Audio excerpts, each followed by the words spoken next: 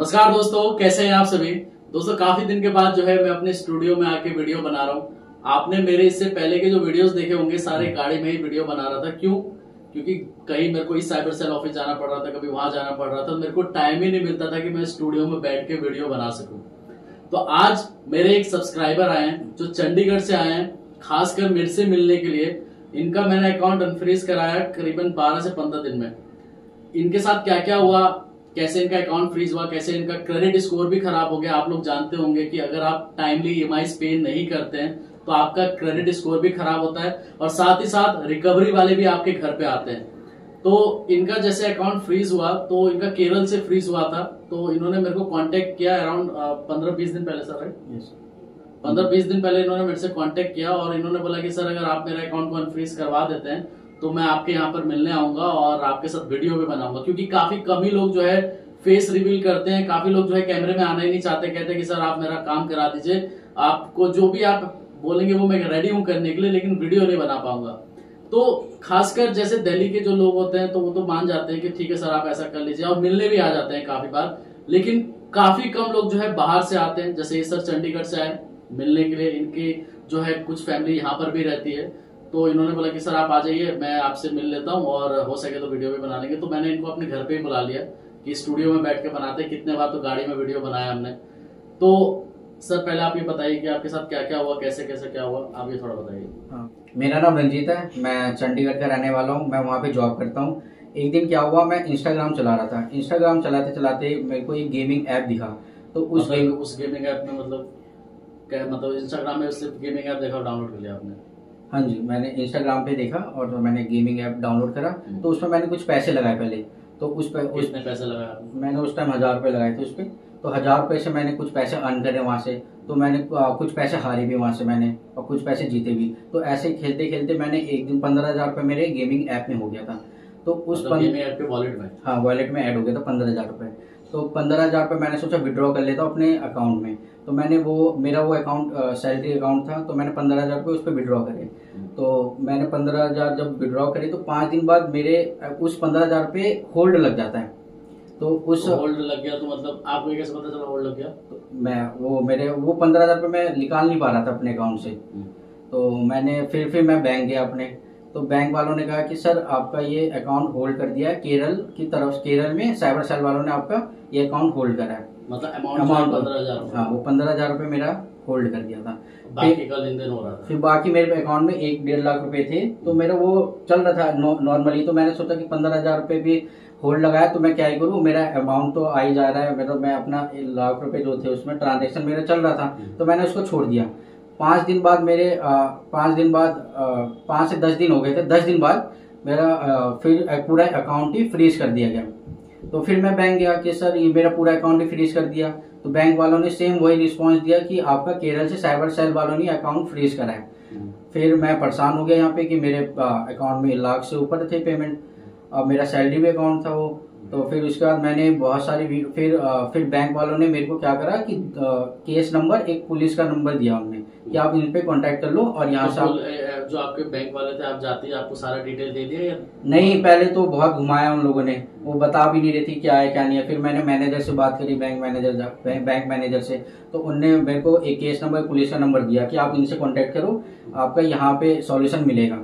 फिर मैंने उस नंबर पे कांटेक्ट करा तो वहाँ से कोई रिस्पॉन्स ही नहीं हो रहा है कोई कॉल ही नहीं उठा रहा है फिर अब मैं क्या रू क्या क्योंकि मेरा क्योंकि उसी अकाउंट से मेरी ई सब चीज़ें चल रही है। और मेरा सैलरी भी उसी में अकाउंट में क्रेडिट होता है। फिर देन उसके बाद मैं मैंने उस पर कॉल करा तो कोई रिस्पॉन्स नहीं मिला फिर मैंने बहुत सारी वीडियोस देखी यूट्यूब। पे तो बहुत सारी वीडियोस देखी तो एडवोकेट बहुत सारे मिले उसमें तो एक एडवोकेट से मेरी बात हुई उसने ये बोला कि सर आ, हम आपसे चार हज़ार रुपये लेंगे उस चार हज़ार रुपये फिर आपका यहाँ से एक नोटिस भेजेंगे नोटिस भेजने पे एक महीने के अंदर आपका अकाउंट अनफ्रीज हो जाएगा लीगल नोटिस भेजा लीगल नोटिस भेजा उन लोगों ने तो मैंने मैंने बोला चलो ठीक है अभी यहाँ से चंडीगढ़ से केरल जाना तो इतना इजी है नहीं हम्म। कि मैं यहाँ से वहाँ चले जाऊँ तो मैंने बोला चलो चार हज़ार रुपये लग रहे हैं हम्म। तो मैं दे के अपना एक महीने में अनफ्रीज हो जाएगा मेरे को हम्म।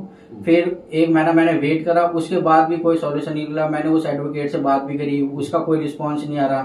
फिर वो कॉल भी नहीं उठा रहा मेरा। फिर आ, फिर मेरे यहाँ पे मेरी ई भी बाउंस होने लगी। मेरा होम लोन कार लोन चलता है। तो मेरे पर लोन पे प्रेशर आने लगा कॉल पे कॉल आ रही है लोन वालों की। सर आप लोन पे नहीं कर रहे हो। मेरा सिविल खराब होने लगा। फिर उसके बाद मतलब आपके कार लोन था आपके साथ और, और मेरा होम लोन चलता है। तो तो मैं वो, वो रिकवरी वाले भी कॉल करने हो बहुत मैं परेशान हो गया बिल्कुल ही और फिर मेरे पे इतने कॉल आने लगे। मैंने सोचा करूँ क्या? मेरे पास मेरे दो महीने ऐसे वेस्ट हो गए। तो मैं सोचा करूँ क्या? तो मैंने और वीडियो देखी तो मेरे को सर का नंबर मिला। तो देन मैंने सर के साथ कांटेक्ट करा तो सर ने मेरा 10 से 12 दिन के अंदर मेरा अकाउंट अनफ्रीज करवा दिया। लेकिन देखो सर आप एक और चीज़ आप बताना भूल गए कि देखिए 10 से 12 दिन जो आपका लगा वो क्यों लगा ये भी तो बताइए। एग्जैक्टली exactly क्या था मैं आपको बताता हूँ कि पहली बात तो इनको प्रॉपर डिटेल नहीं मिली थी। बस एक्नॉलेजमेंट नंबर दे दिया गया था। अब केरल छोटा जगह तो है नहीं। अब केरल में एग्जैक्टली कहाँ है, ये पता करना जो है बहुत ही मुश्किल हो रहा था। तो फिर इनको मैंने बोला कि आप अपने चंडीगढ़ साइबर सेल में जाइए। तो ये चंडीगढ़ साइबर सेल गए। वहाँ पर इन्होंने जाके पता किया कि एग्जैक्ट केरल में इस जगह से अकाउंट फ्रीज है। देन जो है मेरे एडवोकेट वहाँ पर गए। वहाँ पर जाने के बाद इनका क्या था कि जो पंद्रह हज़ार रुपए का होल्ड हुआ था, वो पंद्रह हज़ार रुपए टोटल टोटल फ्रॉड अमाउंट था। तो इसलिए जो है, केरल साइबर सेल ने उस अमाउंट को होल्ड कर दिया था, पंद्रह हज़ार रुपए को। तो इनका क्या करना हुआ कि जब जब वहाँ पर बात हुई तो साइबर सेल वालों ने कहा कि हम इनका पंद्रह हज़ार रुपए का होल्ड लगा रहे हैं, बाकी अकाउंट अनफ्रीज दोबारा करें। मतलब जो इनके साथ पहले हुआ था कि पंद्रह हज़ार आए, वो होल्ड हुआ, बाकी अकाउंट चालू था। तो इसलिए जो है वहाँ पर साइबर सेल वालों ने बोला कि हमने इनका अकाउंट फ्रीज इसलिए किया क्योंकि इन्होंने कोई रिस्पॉन्स नहीं दिया। क्यों नहीं रिस्पॉन्स दिया? क्योंकि वकील के चक्कर में पड़ गए, उन्होंने बोला कि एक दो महीने लगेंगे, आपका अकाउंट अनफ्रीज हो जाएगा, हमने लीगल नोटिस भेज दिया है। आप ये चुपचाप बैठ गए। कि हो जाएगा अनफ्रीज लेकिन वहाँ पर इन्वेस्टिगेशन चल रही है। तो जब वहाँ के पुलिस वालों को लगा कि इनके तरफ़ से कोई रिस्पॉन्स नहीं आ रहा तो उन्होंने अकाउंट को फ्रीज कर दिया। तो ज़ाहिर सी बात है दोस्तों कि जब अकाउंट फ्रीज होता है तो कोई भी कस्टमर हो, चाहे आप हो, चाहे मैं हूँ तो हम लोग ये सोचते हैं कि अब कैसे इसको सॉल्यूशन कैसे दिया जाए। कैसे इन्होंने, जैसे पंद्रह हज़ार का होल्ड हुआ तो इन्होंने क्या करा? छोड़ दिया। बोला कि कोई बात नहीं, देख लेंगे। या क्यों जाना फालतू का इतना दूर? जब अकाउंट फ्रीज हो गया, तब इनको भी दिक्कत हुई। जब ई बाउंस होने लगी, तब जाके इन्होंने कांटेक्ट किया। मेरे को बोला कि, सर, ऐसा ऐसा है, मेरे साथ एक और चीज़ मैं आपसे बताना भूल गया। इनके वाइफ का भी अकाउंट फ्रीज हो गया था, क्योंकि इन्होंने जो है, उनको भी ट्रांसफ़र किए थे कुछ पैसे। तो वाइफ का भी अकाउंट जब फ्रीज हुआ तो इसमें क्या होता है कि जब आपके वजह से दूसरों का अकाउंट फ्रीज होता है तो उस केस में सिर्फ़ उनका अकाउंट नंबर और एक एनओसी जाती है बैंक साइबर सेल की तरफ़ से बैंक को। और बैंक जो है देखता है कि एनओसी आ गया देन वो अनफ्रीज हो जाता है। मतलब इनके बाद के, बाकी के जो लेयर है, वो इजिली जो है सॉर्ट आउट हो जाते हैं। लेकिन मेन इनका था। तो इनको जब एनओसी मिला तो इन्हीं के साथ साथ इनकी वाइफ का भी जो है एनओसी मिल गया, वहीं से ही कि इनके भी अकाउंट से जो है होल्ड हटा दिया जाए। लेकिन इनका केस कैसे हुआ कि पंद्रह हज़ार रुपए का होल्ड लगा दिया गया, बाकी का अकाउंट एज इट इज़ ऐसे चल रहा है और अभी भी पंद्रह हज़ार का होल्ड अकाउंट में दिख रहा है। आप यहाँ पर देख सकते हैं, मैं इनका व्हाट्सएप का स्क्रीन भी आपको दिखा रहा हूँ। मैंने लिख दिया था कि सर सॉल्व तो ये बैंक में गए, वहाँ पर पता करा और वहाँ पर देखा कि हाँ सर एनओसी आ गई है, इनका अकाउंट अनफ्रीज हो गया। आप लोगों को भी मैं एक बात बोलता हूँ दोस्तों कि कभी भी, जब भी आपका अकाउंट फ्रीज होता है छोटा मोटा अमाउंट की वजह से तो इतना टेंशन नहीं लेने का। जैसे अगर आपके उस खाते में कोई ज़्यादा ट्रांजेक्शन नहीं हो रही है या ई वगैरह नहीं जा रही तो कोई ज़्यादा टेंशन लेने की ज़रूरत नहीं है। लेकिन बड़ा अमाउंट है आपकी ई वगैरह जा रही है और होल्ड लगा दिया गया है तो सबसे पहले खाते में जो भी आपके पैसे है ना, उसको निकाल लो। क्योंकि वो अकाउंट कभी भी फ्रीज हो सकता है। चाहे लीन लगाओ, वो अकाउंट कभी भी फ्यूचर में फ्रीज हो सकता है। सर ने क्या करा? पंद्रह हज़ार का होल्ड हुआ, छोड़ दिया अकाउंट बोला कि कौन जाएगा फालतू का? और एक लाख सत्तर हज़ार टोटल कितने थे आपके पैसे खाते में? वन फिफ्टी से ऊपर था। एक पचास एक सत्तर के करीबन इनके खाते में पैसे थे तो वो पूरा का पूरा होल्ड हो गया। अब होल्ड होने के बाद क्या हुआ कि अब ये सर क्या करे? तो इसलिए जब भी आपके खाते में कुछ इस तरीके का होता है तो पैसे को निकाल लें। काफ़ी बार ऐसा होता है कि कुछ टाइम के बाद आपका अकाउंट फ्रीज हो जाता है पूरा का पूरा। आप जो लेन देन कर भी रहे थे वो भी बंद हो जाता है। दूसरी बात दिल्ली एनसीआर का जो भी केस होता है तो मैंने आपको बताया कि मैं जाके सॉर्ट आउट कराता हूँ। लेकिन उससे बाहर का जो केस होता है तो मेरे एडवोकेट वहाँ ऑन द स्पॉट उधर जाके, जहाँ से फ्रीज हुआ है, वहाँ जाके उस चीज़ को सॉर्ट आउट कराया जाता है। कोई लीगल नोटिस नहीं भेजा जाता। लीगल नोटिस भेज दिया होता तो अभी तक ये मेरे पास नहीं आके वीडियो बना रहे होते। तो इसलिए जो है, कभी भी अकाउंट फ्रीज होता है।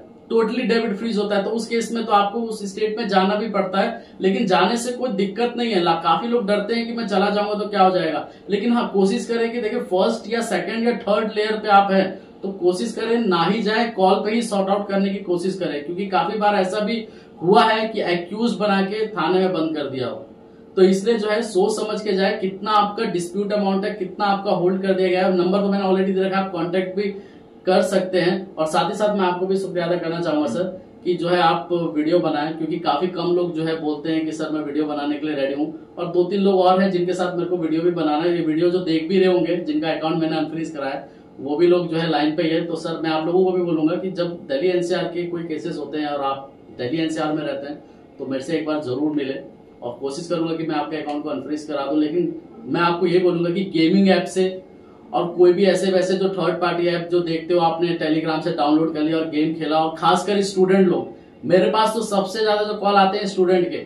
अभी आप पढ़ाई पे ध्यान दीजिए, कहा गेमिंग ऐप के चक्करों में पढ़ रहा है अकाउंट फ्रीज करा रहते हैं? कोई कहता है, मेरे स्कॉलरशिप का पैसा अटक गया है। कोई कहते हैं, मेरे फादर ने पैसे भेजे थे स्कूल फ़ीस का वो पैसा अटक गया है। तो इन सब चीज़ों पे कुछ नहीं रखा। कोई शॉर्टकट नहीं होता है पैसे अर्न करने का। अगर पैसे अर्न कर नहीं चाहते हो तो कुछ ऐसा काम करो जिसमें आपके खाते में कोई इम्पैक्ट ना पड़े।